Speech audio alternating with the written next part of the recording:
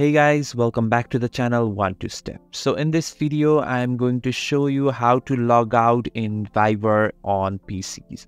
So it's very simple. First of all, you have to have Viber app in your desktop. So here I have already downloaded it. So if you don't have Viber app, just go to the website and you can just search for Viber download and click on the website that comes in front of you and download it for PC. So here I have already downloaded my Viber. So here you need to go to the settings. The settings is in the top right corner. You can see this icon here, settings. Just click on this.